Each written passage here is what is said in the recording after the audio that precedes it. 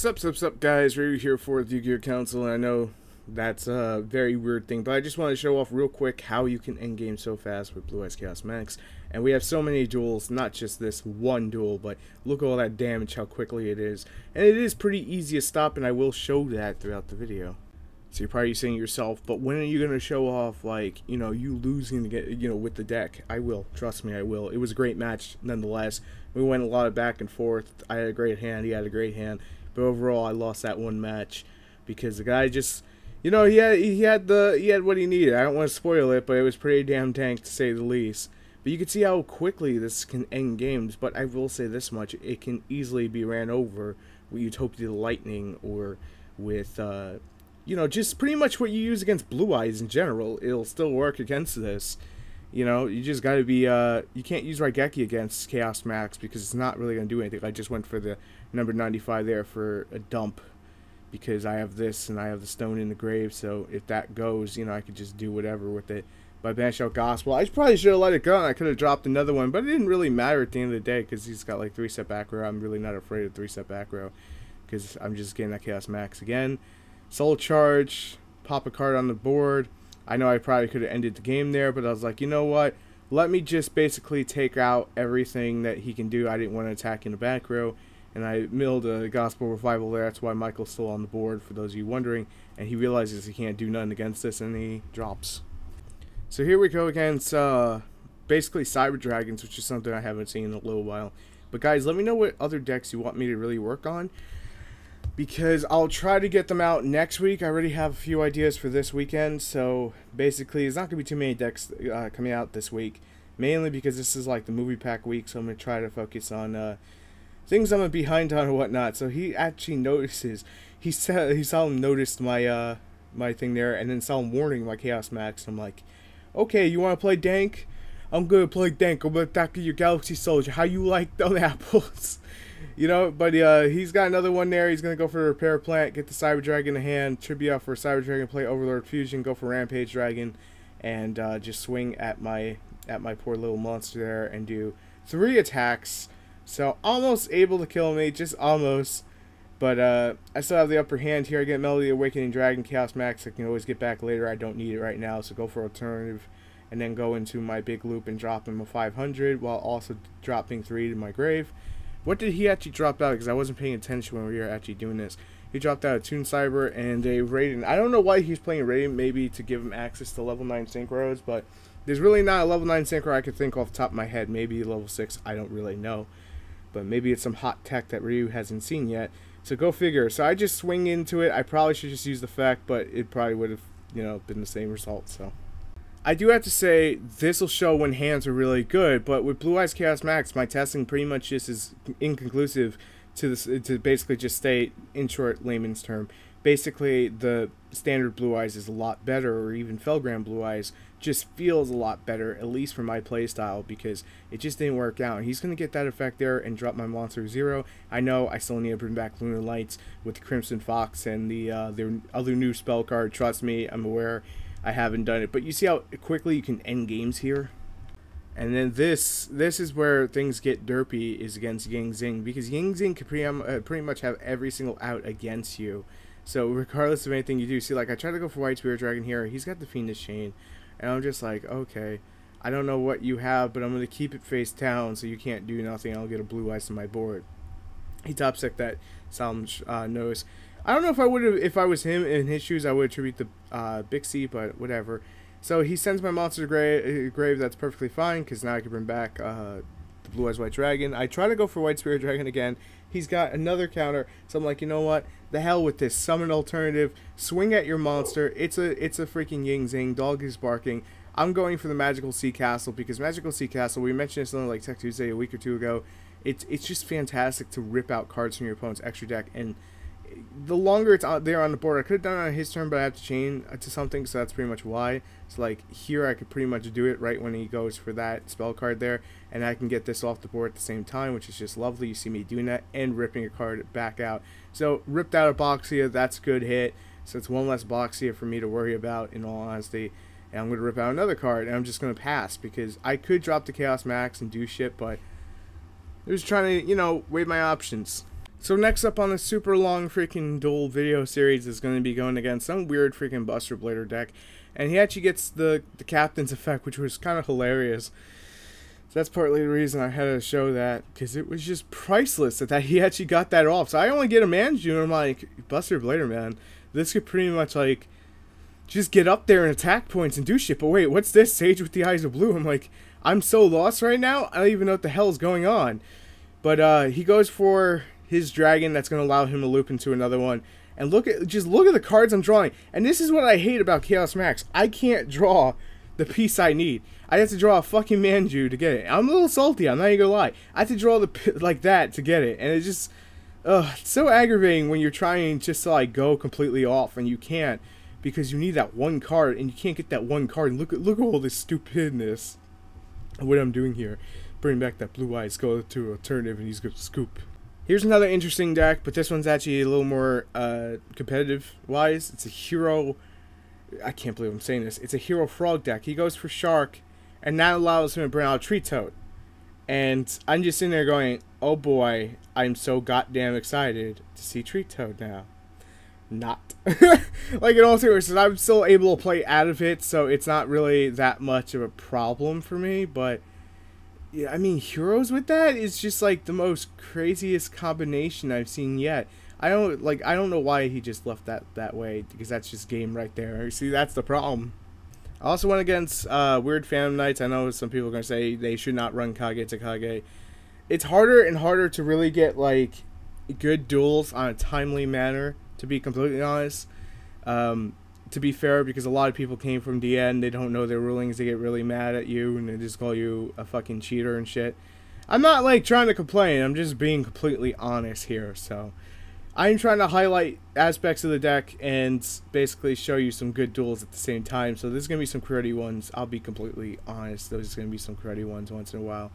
You know, just so I can actually get content out to you guys. Like, what what were you doing here? What were you doing? It's pretty much like they read Chaos Max, they go, "Oh, that's broken," and they they you know they don't want to like try to get better to get over it. I'm not trying to sound like I'm hating. It's just one of those things that you know you gotta you gotta learn to deal with stuff in Yu-Gi-Oh. I mean, Kozmos are pretty stupid. They're probably dumber than fucking Chaos Max by far. They're dumber than Chaos Max. I'll go on record saying that right now, prior to the panelists. They are much dumber. Um, you know what they do and everything. So there's that. But Chaos Max is going to swing at that Winda. Winda's going to bring back Core. See, this guy's trying to play out of it. He's trying to find a way. So he goes for Shadow Fusion. I drop another Maxi because I'm a sacky piece of shit, apparently. And uh, that's just how it is today. I'm a sacky piece of shit. I'm being honest. He gets a Hedgehog. He gets a draw. He's going to swing. I get uh, free special summon now. White Spirit Dragon, take out your back row. He's going to chain the Fiendish Chain, so at least that way I can't attack with it. I gotta say that's you know it's making best of best of it, but unfortunately for him, I have the the freaking gospel revival to come back and then just start swinging with Chaos Max and go into number 38, which this will just shut down uh, his whole deck. He goes for Exodius, and I'm like, wait, wait, wait. Maybe he meant to put it in defense mode, but even if he did, it would have been game because I don't see him really making being able to make a play because of this, unless he had some level 12 synchro I don't know about. So now, now we get to the fun stuff. Pretty much, you're gonna get some some meat, and this is against uh, Lightsworn Infernoid because Infernoid that's the only real way you can actually play Infernoid. Sadly enough, without reasoning, but reasoning's kind of dumb anyway. So easy easy peasy win right there because that would have been one shot right there. Let me show you the duel that I've been mentioning. So this was early on testing because obviously Effect Veiler is there. Uh, some things have changed throughout the deck, but I'll just give you a little preview there. You can you could just slow it down and see from there. So it's pretty much the same thing except I dropped the Effect Veiler out, but this was against the Yang Zing player that actually was really good. I gotta hand him credit. He gave me one hell of a duel. And we went a lot of back and forth throughout this duel. You're gonna see that. So I go for Twin Twist. He's got the counter. So he, he basically destroys his monster, gets a free special, and I'm like, okay, I could probably end the game here by doing that. But no, I'm gonna get I'm gonna get really like grimy about it and just fucking go magical sea castle so I could rip cards out of his extra deck. Ooh yeah, that's how we do it. But I did hit the ultimate Tezoka, so I was like, okay, that's pretty cool. And I also uh, veilered the Jatsu, so that way he couldn't make a giant play. But he goes for the uh, this guy, the new one. I think it's Duolong. It's unlike uh, It's unlike the the Pokemon. There's a Pokemon that's like, you know, same kind of thing. But I go for effect here. He's got his card up. I'm gonna go for Manju. Go for it. But no, get poop stomped. I get pooper stomped. I, I'm pretty sure even if I play Swords of Concealing Light, he would still be able to uh, destroy it. I don't know if it says face up. You know what? Let me actually check. When a spell or trap is activated while you control a Yang Zing card. So, yeah, technically he still would control the Yang Zing card and he still has a creation, so he'd still be able to do it. Here he goes for the uh, the Boxia. I'm countering it by destroying it, so he'll miss timing, but at the same time, I just protect myself before I wreck myself. He's got Vanity's Emptiness. That card's going to come into play. Uh, soon enough, I go for alternative. Alternative is going to swing for 3,000. I get him down to 36. I'm feeling pretty confident. My life points haven't taken shit. He tops deck the top deck of all top deck.